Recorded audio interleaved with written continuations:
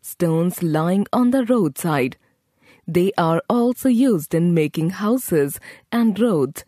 You may also have seen big rocks in mountains or near rivers. Have you ever wondered how these were made? The top layer of earth is made of rocks and soil. Rocks are solid structures made up of different type of substances. These substances are called minerals. We can't see rocks around us because they are covered with soil and plants. We can, however, see some of these rocks in deserts, mountains, and the cliffs at the sea.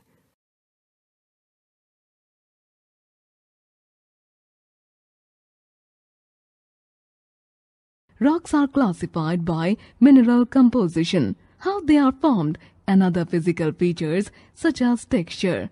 Read about three main types of rock here igneous rocks, sedimentary rocks, metamorphic rocks.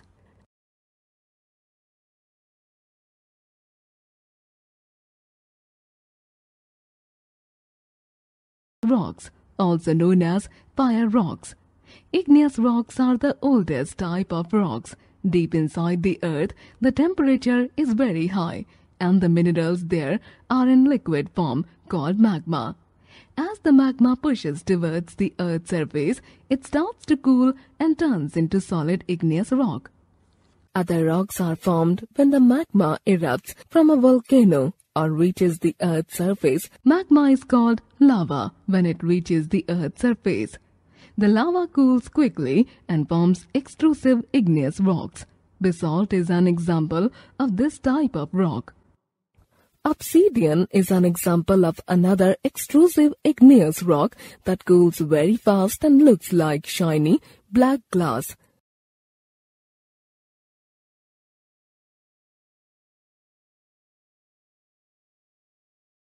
Rocks. The Earth's surface is constantly being eroded. This means that rocks are broken up into smaller pieces by wind, water, and ice. These small pieces of rock turn into pebbles, gravel, sand, and clay and tumble down rivers and streams. They pile up in thick layers on the bottom of the water bodies. Over a long period of time, the pieces become pressed together and form solid rock called sedimentary rock. Most sedimentary rocks form underwater. Examples Sandstone. These common rocks are formed from grains of sand pressed together tightly. They are formed from the sand on beaches, in riverbeds and sand dunes. Sandstones are usually made of the mineral quartz.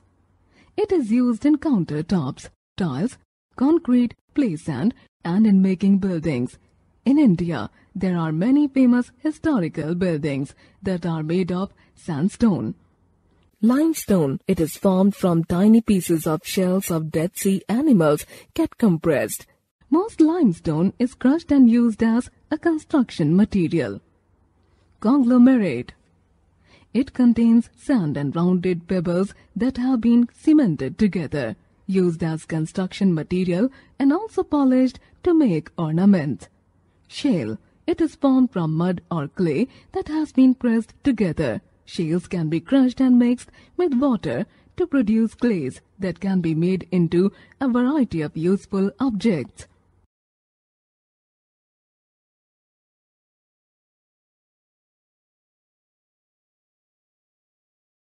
change and form. Metamorphic rocks form deep in the earth where high temperature and pressure cause one type of rock to change into another type of rock. The heat comes from magma. The pressure comes from layers of rock piled on top of each other. The layers on the bottom get squeezed. The thicker the layers, the more pressure there is. If we squeeze and heat a rock for a few million years, it can turn into a new kind of rock. Marble is formed from limestone. It is used in making ornaments, statues, and in flooring of houses.